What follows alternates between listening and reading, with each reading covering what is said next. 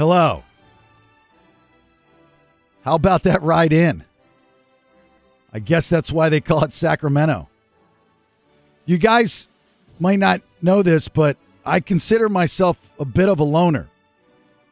I think of myself as a one man wolf pack, but when the FBI brought me to this class, I knew we were all one, and my wolf pack grew by 40 or so. So at first there was just me in the wolf pack, and then I met Gina, and then there was two in the wolf pack, and then I met Jal, and then there was 40 more, which made us like 42 ish in the wolf pack. All of us running around Sacramento as FBI agents together, regulating, handcuffing, arresting, taking down the bad guys in any way we can, like with nightsticks and tasers and stuff.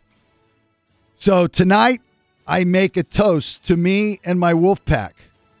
And I'm going to cut myself with a knife. No. Oh yeah, blood pact. Let's be blood brothers and sisters because we are all in the wolf pack of 42 or more people, and we are the best friends that there ever were. Thank you.